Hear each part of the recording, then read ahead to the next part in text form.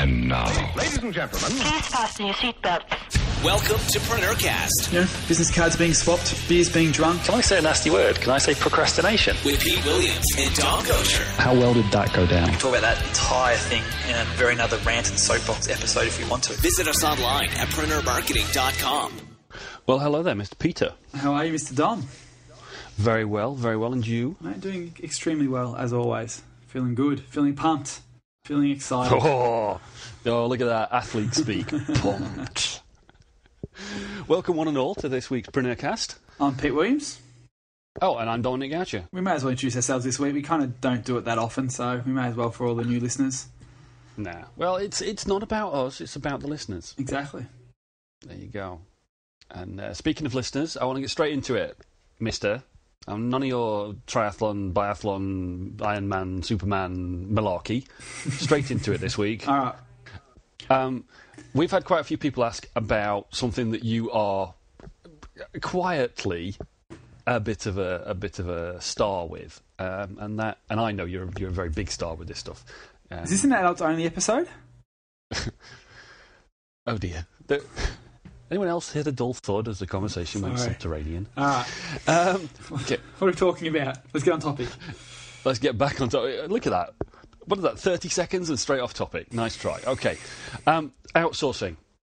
Yes. Outsourcing is is a huge topic in the internet marketing space, but it's not just for internet marketers. Um, and I this this cropped up not only in in notes from listeners. Uh, thank you everyone for the feedback, as always. Uh, appreciated on the iTunes store and everywhere else. Uh, not only from listeners, but uh, I was talking in another group of uh, people that I work with, and the topic came up because someone was saying that they were really uh, they had this this really mind numbing task that they don't really like. It takes a long time. They like the overall job and the overall business, but there's this one task that they don't like, or there's this one group of tasks that they don't like.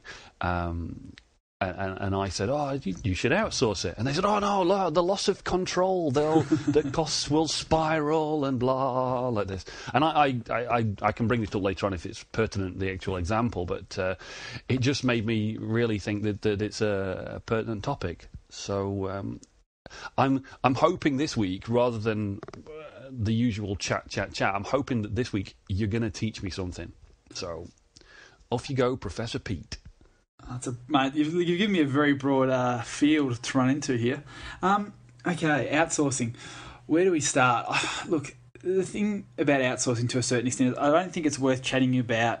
You know how to go into Elance and find someone to do a logo for you because that sort of stuff is out there on the web a lot, and there's a lot of crap out there. Let's be honest about it. There's also a lot of good stuff about how to sort of do certain outsourcing things, and it's probably not worth covering that sort of stuff because hopefully a lot of people have already experienced that. And if not hey let us know we'll, we'll do another episode on on outsourcing and stuff. But it's probably worth touching on sort of the why to outsource a little bit um, a little bit of the what to outsource um, and definitely probably a lot about the how i guess is probably a good way to break it down. So why outsource? Um, to answer my own question there, look, there's probably a few reasons. And for those of you who have read um, Tim Ferriss's book, The Four Hour Work Week, hopefully that gives you a, big enough why, because Tim did a phenomenal job of um, putting together a, a very good argument for why to outsource. And fundamentally, it comes down to a couple of things: is um, success in business is now no longer an individual game; it's a team sport.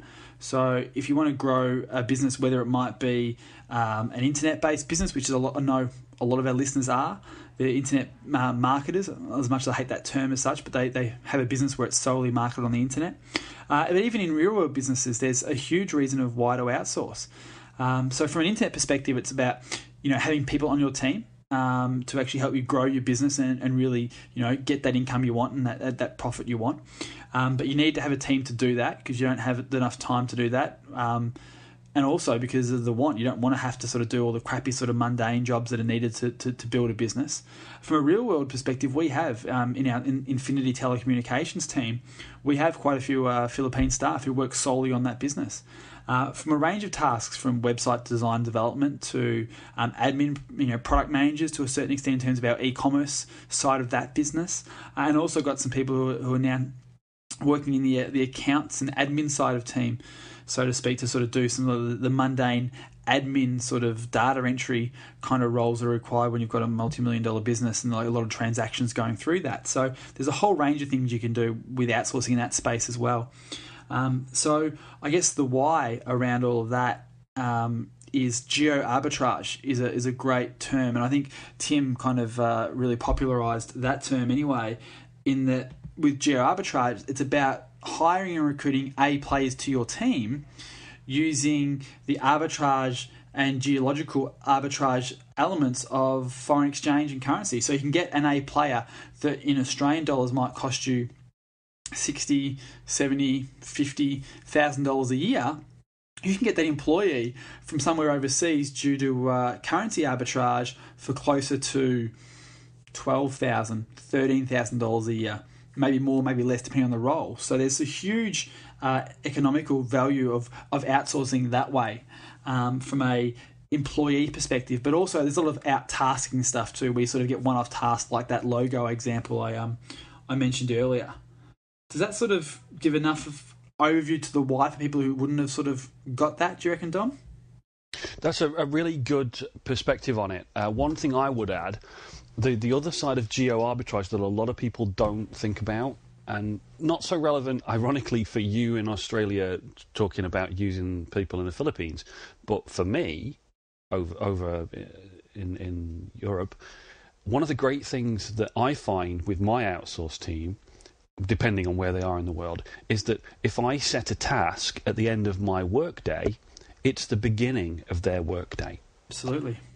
And when I come back the next day at the beginning of my workday, very often that task's been done. So it's a great way of working, almost working continually. Your business is working all the time. And, and, obviously, if you have a team, there are always going to be people working when you're not working or working when you're working on another project. But even for the small tasks, it's sometimes quite satisfying to get to the end of a workday to stack up all these jobs and just pop off the instructions, come back, and that work's been done, and you can kind of carry on from where they left off. So that's another side. But yeah, that's yeah. a great introduction to the why for outsourcing. And clearly, there's also the skill set thing as well. You know, obviously, as we've mentioned on this podcast numerous times, you're my media guy. You look after all my, my media for um, a lot of projects I'm involved with. So video editing and that sort of stuff. It's yeah, I can do it, but I don't, I don't do a good job of it. Um, so that's where you come in. You're phenomenal at that sort of stuff. So that's why I give you. Um, those projects because you enjoy it, you're great at it, and it's good value and it works out really, really well for all parties. So um, that's another reason for outsourcing too. It's just purely a skill shortage kind of thing. Absolutely, and, and not to not to digress too much on this point, but I think uh, going from the four-hour work week to Michael Gerber's book. You love him, don't you?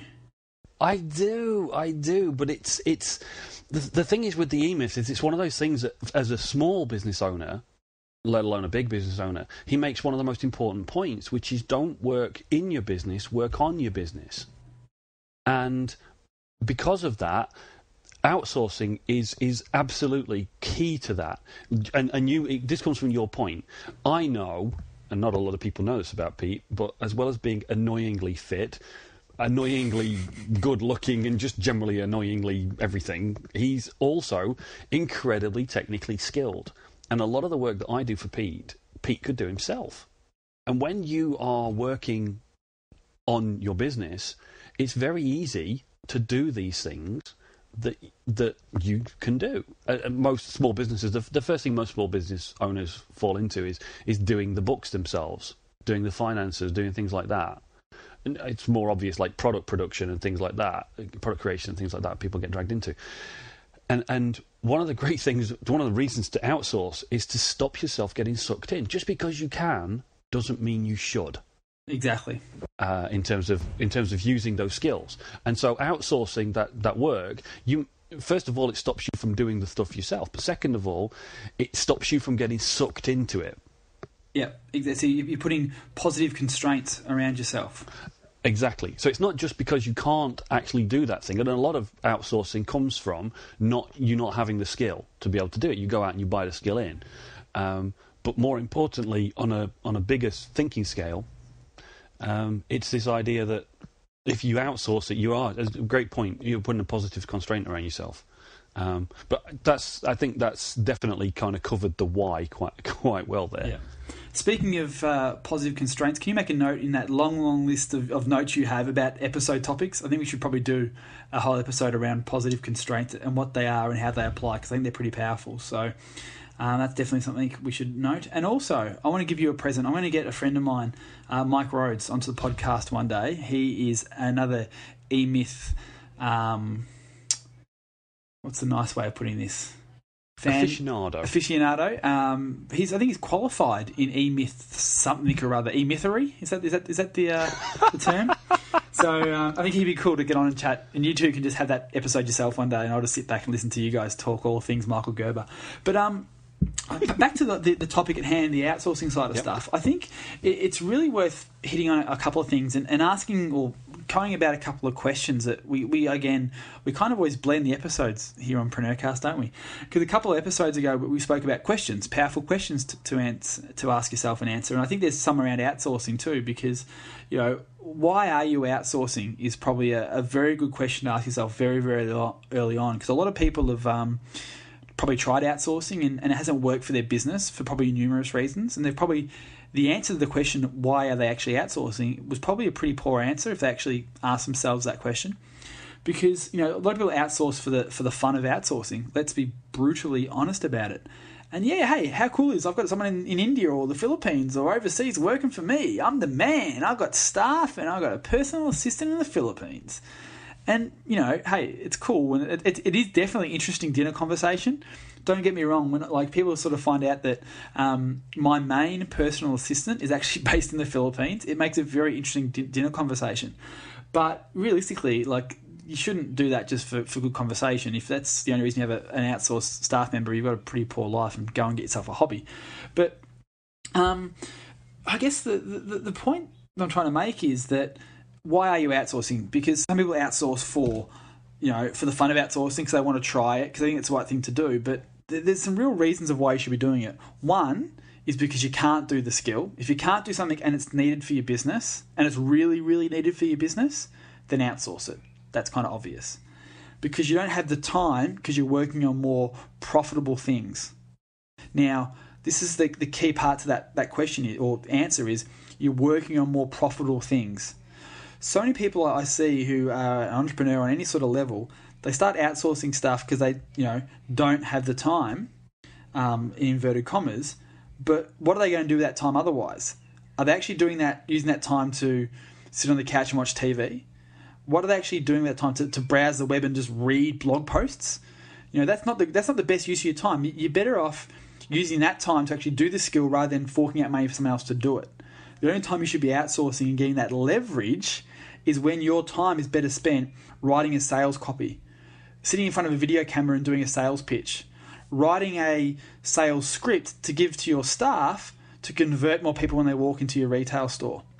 You've got to make sure that what you're actually doing is generating more income for the business than it would have been by doing that particular task. And so many people actually outsource too quickly because they think that's where they need to go, and there's no money left over at the end of the day because they start paying staff members, and that go there goes all the profit or any potential of profit because it's all been sucked out of the business. You've got no marketing dollars left.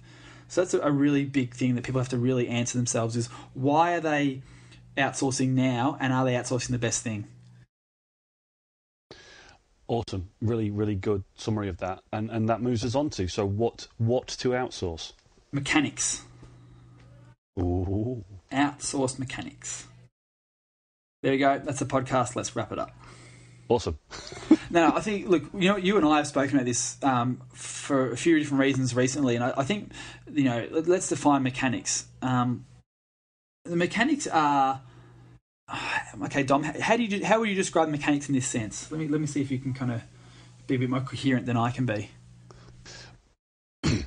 to me, the mechanics of anything is anything that, that comes under the term rote, anything that's repeatable. In fact, if you can basically, if you can write down a sequence of steps to achieve a task, that task can be outsourced because it becomes a mechanical or systemized thing. Some of them are obvious. I mean, you mentioned one already, which was data entry.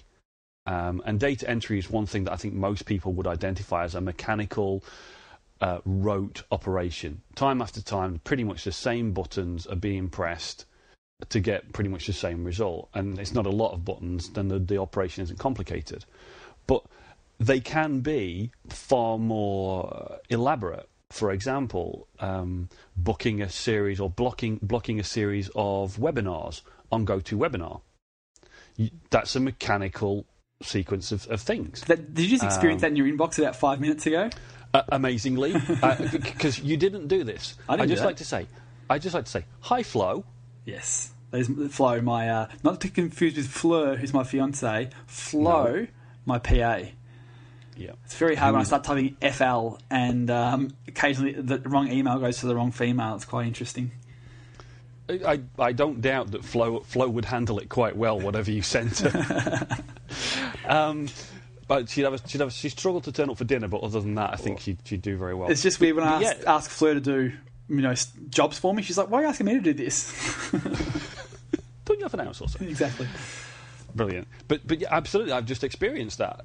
I experienced both ends of the process. I experienced you sending the instructions to Flo because it's a project I'm involved in, and I also experienced Flo dealing with the mechanics of filling out, let's say, eight go-to-webinar booking forms correctly with the right logos and the right descriptions and everything else, and getting that stuff done. And, and you literally just got an email back in your inbox saying, "Done, done." Yep. And that's that's a really good example of a slightly more elaborate mechanical job.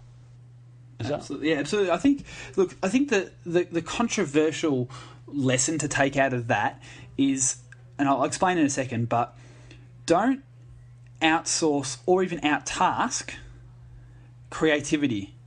Outsource and outtask mechanics.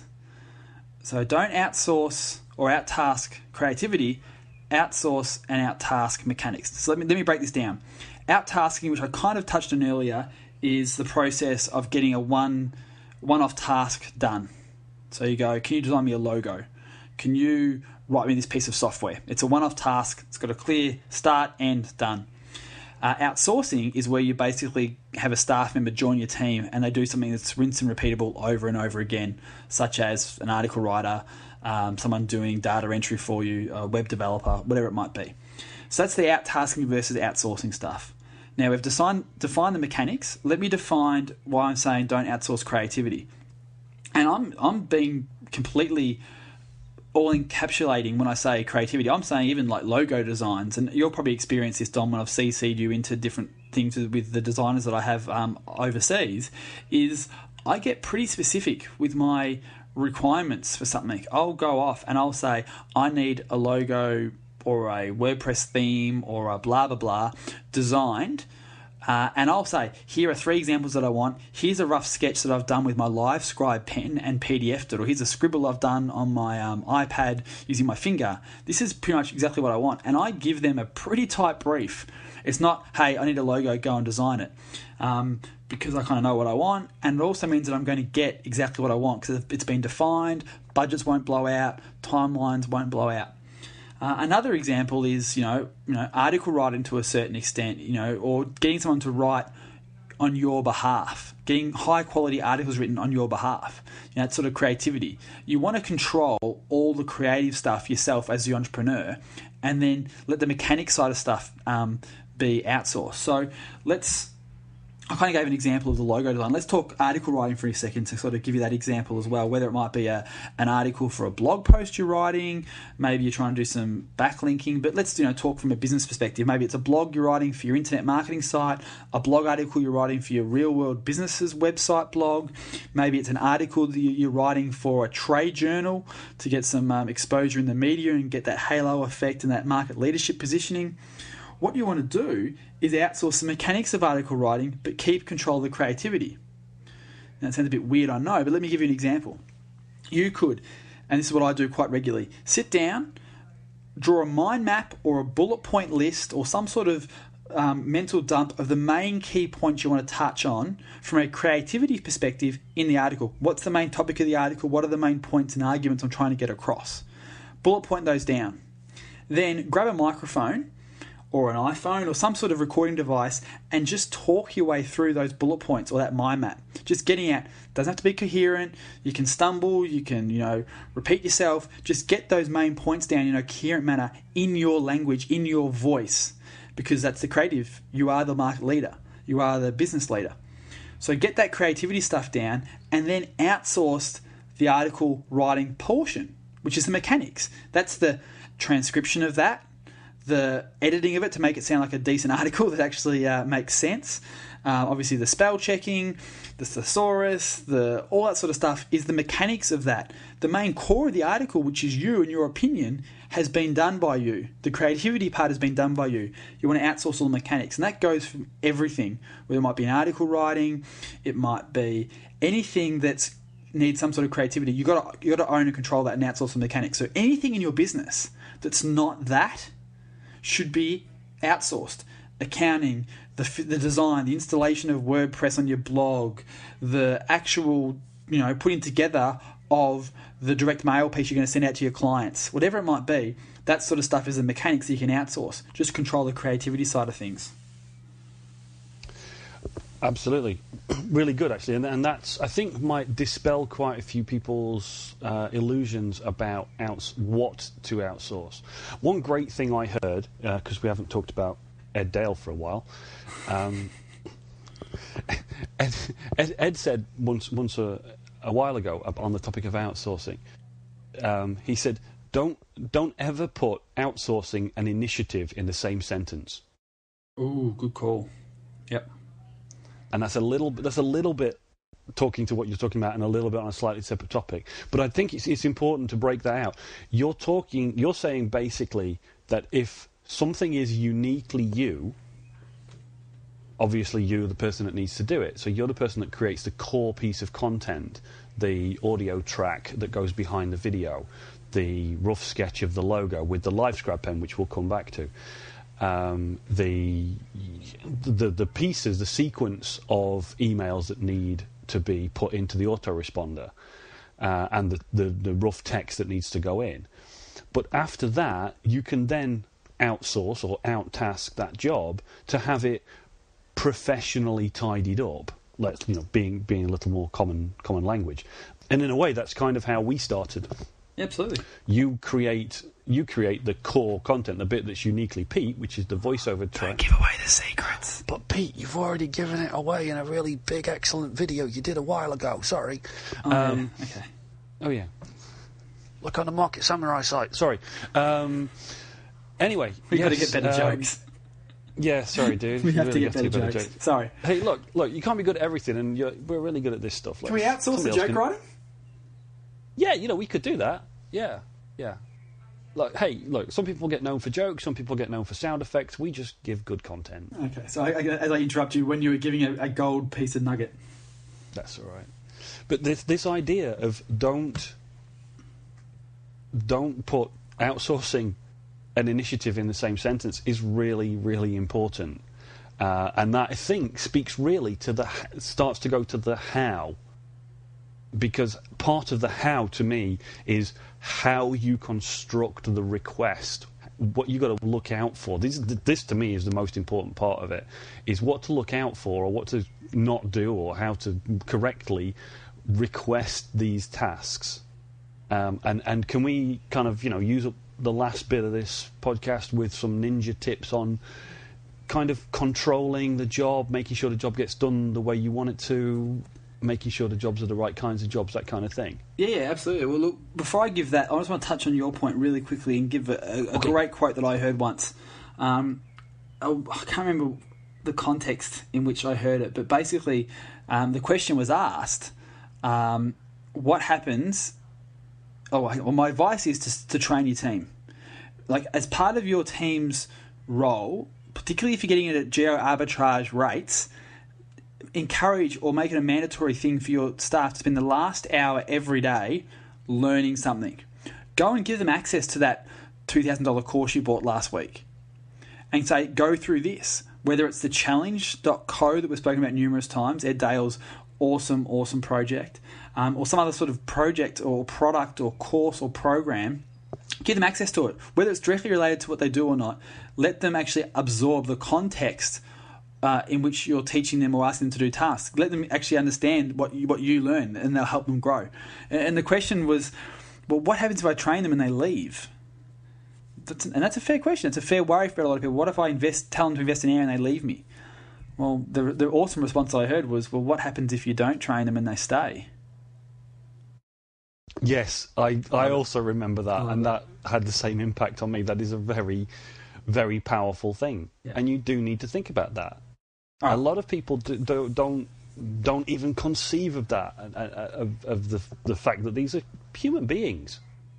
You're asking a human being to do a job, and and uh, if you were to hire somebody to to work in your shop or in your office, and you just hired them in, sat them there, and said, "Do that job," and you never trained them and never supported them in doing the job, you couldn't realistically expect them to carry on happy, happy, happy, could you? But they do. This is, this is the thing that blows my mind. So many people hire a staff member, and they wouldn't. They, you, I agree with you. They wouldn't think about hiring someone and then not training them. So they spend the first week training them and supporting them and mentoring them, and after that first week, they walk away. So they do train them in that first week. How many jobs have you had where you've been trained in the first week and then forgotten about? It's insane. Anyway, Yeah. let's leave with a whole bunch of um, brain dump stuff. So you're going to go through managing a team, monitoring a team, communicating with a team. Is that sort of just a random thing? Before we go into before we go into that though, I'd just like to, to say part of you talked about finding people and that we don't need to go over that um, because there's lots of people out there talking about how you find an outsourcer. Let's just clarify here when we talk about outsourcing or outtasking. A lot of people at the moment, really trendy topic at the moment is outsourcing to the Philippines. That's not the only place where you can send an outsourced task or you can find a, a good outsourcer you need to find the right person for the job wherever they are. Um, whether it's somebody that is in Canada that does your logo design, you use them only when you need a logo, and maybe you pay a little bit more, but hey, they're the best logo designer you've got. Uh, whether it's somebody in the Philippines or America or Scandinavia, there's some really good web guys in uh, in the, the northern European regions Absolutely. for example. You know, uh, some really good programmers. Out, a lot of uh, a lot of the um, iPhone app programmers come from that part of the world. Yep. Um, so don't don't be closeted. Don't be t- tunnel vision with, with where you're looking for these people. Is is that? But after that, let's let's hit each one of those points that you said. So, like sending the job out, monitoring the job, communicating. Let's see if we can hit what each one of those. Okay. Um, few, look, I've got a whole bunch of things. Let me just try and share some off the top of my head. Um, one of the key the, or resources that, that we've put together as a team is what I refer to as a work wiki. Now, we've got a couple of different work wikis. One is um, using a service called EditMe, uh, which is a really cool online service. Another one we've just built in, internally for Infinity is a just a WordPress um, install. Let me try and. Um, let me try and work out what the theme is, and I'll explain in a second while this loads. So, the Work Wiki is basically uh, an online wiki, similar to Wikipedia, full of all the tasks uh, and procedures, all the rinse and repeat stuff that our team does. Um, now, I'm using a WordPress theme that we will link up in the show notes. I don't know what the actual theme is, but I'll check with Flo and I'll uh, link it up in the in the show notes. But basically, what we do is we use a product called ScreenSteps, which is a Mac product. I think it's available for the PC as well. It, it is indeed available for the Awesome. PC as well. yeah. And basically, it's a software pro- tool that allows you to, to make s- screenshots and steps of a process. So you um, do the first step of the process, click a button, it takes a screenshot of your computer, you write up a description of what had to be done in that step, go to the next step, hit a button, take another screenshot, and it basically really quickly and easily allows you to create uh, a manual or process uh, around a particular um, task.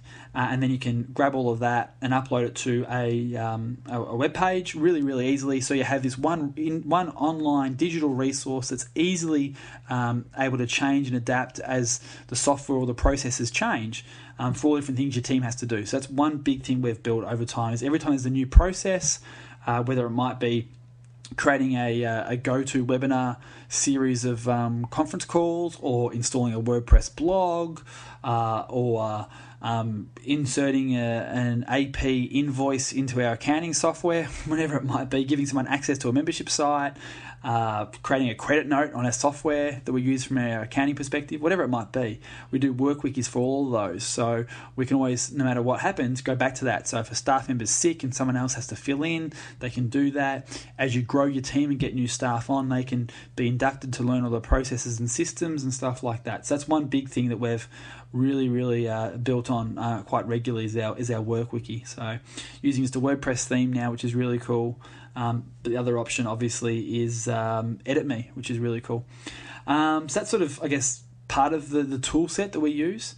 Um, in terms of managing staff, I actually have a, a, daily email that, that all our team have to, to send through. Uh, and basically, that daily email has a, a, few things on there. It has, um, first thing is uh, what were they uh, uh, trying to achieve today? What was their, their to do list, basically?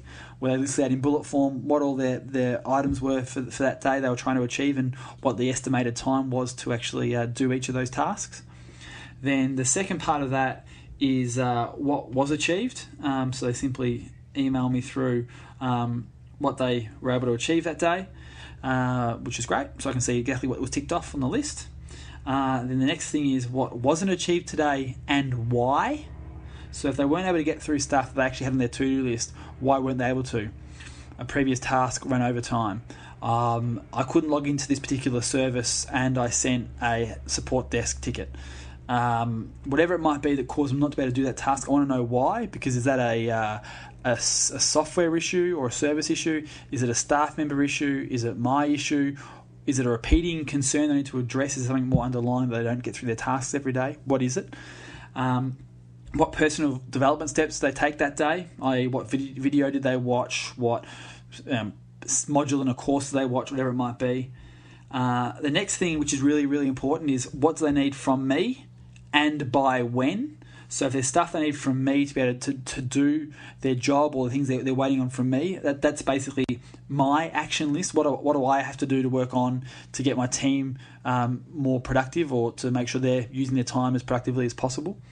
Uh, and then the last thing is what's the plan for tomorrow? So this is what they are planning to work on tomorrow with time estimates against all of that. So that way I can read that and, and I can reply saying, oh, actually, hang on, change this order or, or don't do this or, or do this instead.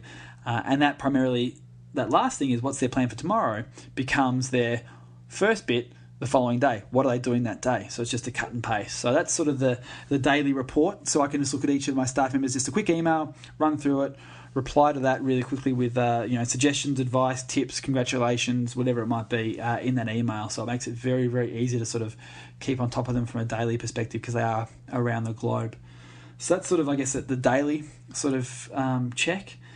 What other things should I be mentioning? The, the big thing for me, I mean, and and just to close this one down, really is is can you describe or give some tips for assigning the jobs, for actually handing over the instructions, what to put in the instructions, ways to be clear, things like that. Because I think that's a lot of people fall down. I hear a lot of people say, "Oh, my outsourcer, they're just not that good. They don't seem to really get it. They don't yeah. seem to blah blah blah." And, and nine times out of ten, with all due respect, you didn't ask the right question or you didn't set the task properly. Eleven times out of ten, mate. Not, don't, don't, don't, don't, don't let people off the hook. In my opinion, I'm, I, go on. I was going in my opinion, it's mostly the issues in the brief. Yeah. So can you can you talk to that for a little bit, just just as a kind of a closeout? Yeah, sure. Look, there's probably a, a few things. Um, let me try where to start. First thing is um, give them some context. Um, I know we spoke about this in a podcast recently. Uh, give you the, some context. So the first thing I'll say is, um, you know, the context or the the objective here is to create a logo that's going to be used uh, on a series of um, products, online membership sites, and blah blah blah.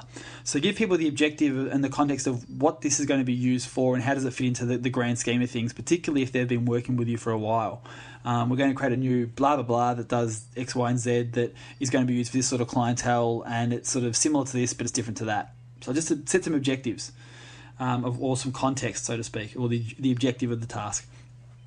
Or the, the objective of the result is probably a better way to put it. So, what is the, the objective of the result we're trying to achieve here? So, describe that. Uh, then, obviously, describe what needs to be done. I need a blah, blah, blah, and I need a wah, wah, wah, and a woo, woo, woo, whatever it might be. Obviously, that's where you describe the, the thing. And that's what most people only do is just do the descriptive bit. The I need four articles written that are 200 words in length that are targeted for this particular keyword. You know, that, that's what that's all I'll say, or whatever it might be. So you give that. Uh, then I also recommend you give some examples. So to give you a bit of context, here's some similar stuff that might help you get an idea of what I'm trying to achieve. YouTube video links, uh, article website links, examples of competition of your competitor stuff, whatever it might be, and say this is sort of some similar stuff to give you some ideas. Um, and then also, if you've got time, um, bullet point down what I liked about each of these, what, what I liked, what I disliked about each of these things. Uh, and then, um, if you can, here's some here's a rough idea of what I'm thinking. So it might be if you have a Livescribe pen uh, and a notebook, write out a bit of an idea of what you're after. Do a sketch of what you need, whatever it might be, and actually send that along with it to give some people a bit more context of what you're after. Uh, and then also, obviously, a, a, deadline if you can. I'd like this by a certain deadline or a budget or a time frame, something like that. They're probably, I guess, a high level sort of checklist you can work down. Uh, I know Dom, you deal getting a lot of briefs from people, not just myself. So, I guess what what do you like as an outsourcer to actually receive in a brief is probably a, a good question. Very, very good question. Um, before I go to that, I'd just like to highlight the. We've mentioned Livescribe pen a number of times. Now, if you haven't come across Livescribe pens, I strongly recommend that if you deal with any form of any need to communicate ideas with people, you seriously look at one of these things. Uh, I won't go into it too much, but basically, it's a pen and some special paper, pads of paper of different sizes that you can buy. And when the pen is turned on, anything that you draw on this sheet of paper is recorded electronically and can be downloaded to a computer and even turned into a PDF. At the same time that you're drawing, the pen can record your voice. So you can literally either hand draw a diagram and just send that electronic diagram, which is a nice feature, saves scanning and all that stuff um, but you can also annotate the diagram. So if you're one of these people, like I am, a visual thinker, that tends to like to draw out what it is that you want and talk it through as you're drawing, these things are an absolute godsend. So seriously look into that. That's that's why we keep babbling on about Livescribe pens because they're a great way of getting what's in your head onto the paper. Um, so Pete, back to your question, which is what do I like to receive?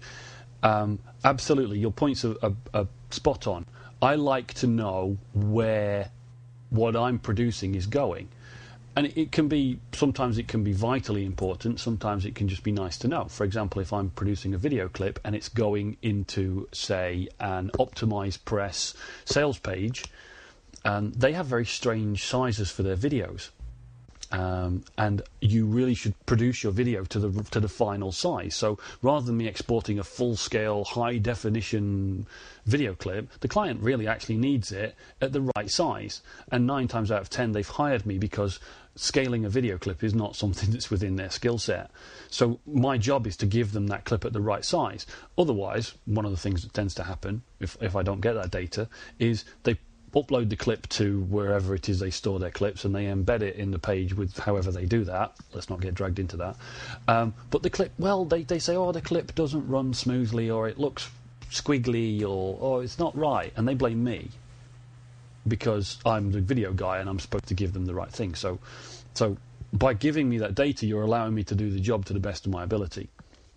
Again, give examples. A lot of people have seen other people's sales videos or info products, the two big things that I do, um, or ebooks, another thing that I do. Um, and, and you may have seen a style, it might be the typeface, it might be the animation style, it might be the style of the graphics that people have used, the way the text comes onto the screen, um, uh, the, the layout of the PDF for the ebook, all those things. The best thing you can do is send me a link, show me that video um, because I can get probably get more from seeing that video than you telling me because it's my skill. My skill is to work out. I can reverse engineer most people's work and, and go, oh right, yeah, they did that with that, or that's how they did that. So I can give you a better job. Um, and absolutely, deliverable and deadline are the are the two big things that, that are important whenever you specify a job, but to me or to anyone. I need to know when you need it for. And very often, what I will do is whenever you tell me you need it, I'll ask you some more questions about that because you might think you need it. Like you'll say, oh, the product goes live next Wednesday. Um, at which point I know that what you want then is the file at, with at least a few days before that deadline because you've got to give that file maybe to your outsourcer that uploads things and puts them on your web page. Um, so think that through. If you're the person giving the deadline, think it through. You know, does that deadline give you enough time to take that asset or that product and move it on to the next step in the chain? Um, and deliverable, well, what do you expect? I already gave an idea of the one of the things like the context, why that's important. If you're asking for a logo, did, if you need to specify what format you want it in, and if you don't know the answer to that, maybe the outsourcer can help you, or the outtasker can help you, or maybe you can find some help. Um, but if you don't tell somebody, then I have this phrase um, which applies across everything. Okay, and and just to, to kind of close this one out, my my phrase is is a, a kind of a twist, a little joke on the uh, WYSIWYG, with the old WYSIWYG phrase, which is what you see is what you get, and mine is YAFIGI. And YAFIGI applies to outsourcing more than anything else. And YAFIGI stands for you asked for it, you got it. And I repeat, could we get some new joke writers? No, seriously, that's true though. You're absolutely right. What what you ask for is what you get. So if you don't ask for it properly, so that's worth asking the question: What other question should I ask? Let me say that again. It's worth asking the question when you give a brief to someone. What other questions should I be asking right now? What else do you need to know? And actually encourage them into the briefing process and get them involved in that because you never know. They might give you some good questions that you hadn't thought of, some better ways to do it, some more um, input to define the brief better, which means you're going to get a quicker result, a better result, and a cheaper result. Absolutely. In fact, um, this is something that I do with all my new clients. All my new clients get a call up front. And in that call, I talk to them about their processes, I talk to them about my processes. And I try and help my clients to, to do as little work as possible on their part and yet give me the most amount of content or the best product, the best input, the best source materials. Um, and by asking, and I do this with my outsourcers, I ask them, what's the best thing I can give you? How do you want to receive the job? What, what assets and resources do you need to do your job the best? Um, and that, as you say, can save time and money. That's it, guys. Shall we wrap it up? Oh, yep, let's wrap it up there. Cool, guys. Hopefully that was a good one on outsourcing, a slightly different type of content than you get out there in the with other people's outsourcing information um, from people that really do do this stuff. From both sides of the coin. Indeed. See you guys next week. Been enjoying another fine episode of Preneurcast with Pete Williams and Dom Goucher. Make sure to hang out with the boys online at www.preneurmarketing.com or drop them a line via preneurcast at preneurgroup.com.